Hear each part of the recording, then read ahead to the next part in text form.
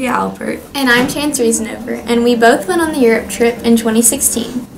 Jackson, you're going on the trip this year. What are you most looking forward to? I'm excited to see the Eiffel Tower and uh, just try new foods, do new things, different, see the different cultures. Yeah.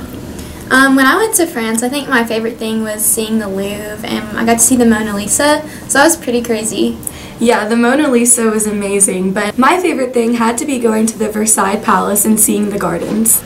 We definitely encourage you to take this trip if you're interested in traveling abroad and seeing a bunch of different cultures. This will be an experience that you'll never forget, and I know that some of my favorite memories are from the Europe trip.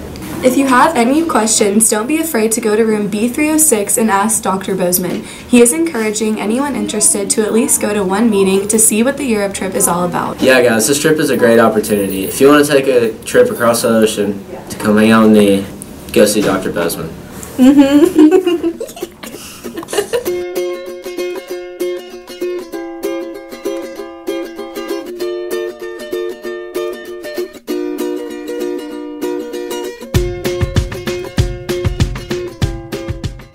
If you want to hang out with me, come on to. I forgot what I was going to say.